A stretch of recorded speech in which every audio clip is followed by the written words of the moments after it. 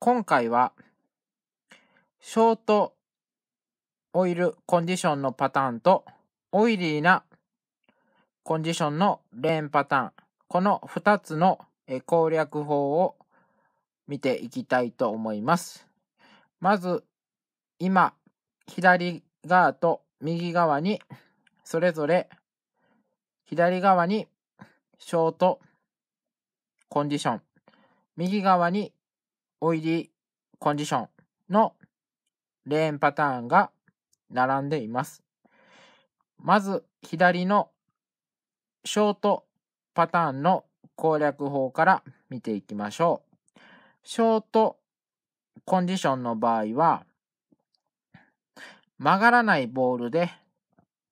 右端の方から、投球する。この辺ですね。から投球する方法と、曲がるボールで中からオイルのあるところを使って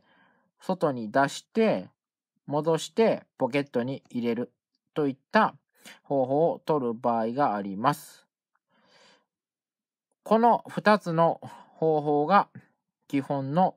ショートオイルコンディションの攻略法となります。ショートオイルコンディションの方は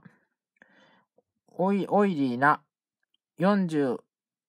ィートや7フィートのコンディションと違って、えボールがすぐに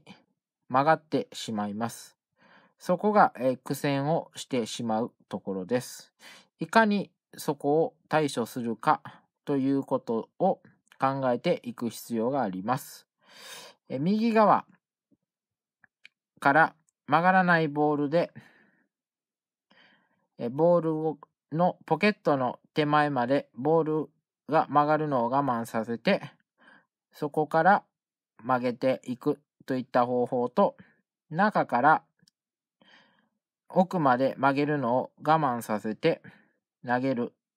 といった方法があります。これが一般的なショートオイルコンディションの攻略法です。続いて、こちらのロングのオイリーなレーンパターンのコンディションの場合の攻略法です。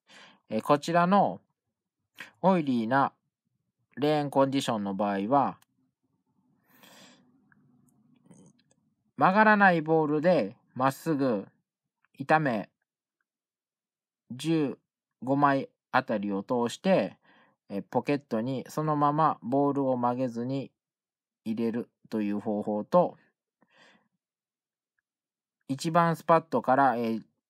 2番スパットあたり、5から10枚目あたりを通して、曲がるボールで外から曲げる、曲げるといった、え、方法が、え、基本的な、えコンディションの対対処法という形になります。どうしてもボールが曲がらない人は中から直線的に通して、ボールが曲がるラインができできるまで、そのまま投げるといった形を取る方が良いです。そうすることで、外から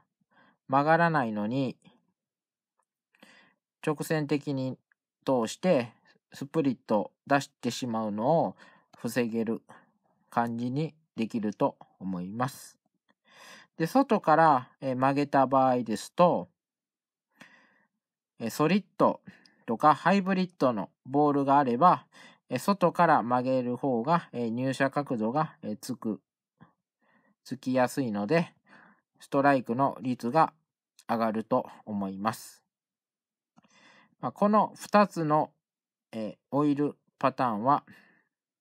ボーリング場さんによって毎週月ごとで変更している場合がほとんどありますので、そういったボーリング場さんに足を踏み入れて、ボーリング場さんの掲示板に貼ってあるオイルパターンを見て、ショートの日、ロングの日、両方行ってみて、経験を積んでみてください。そうすることで、スコアがだんだん伸びてきます。今回も最後までご視聴ありがとうございました。また次回も投稿いたしますので、チャンネル登録もぜひよろしくお願いいたします。それではまた次回お楽しみにください。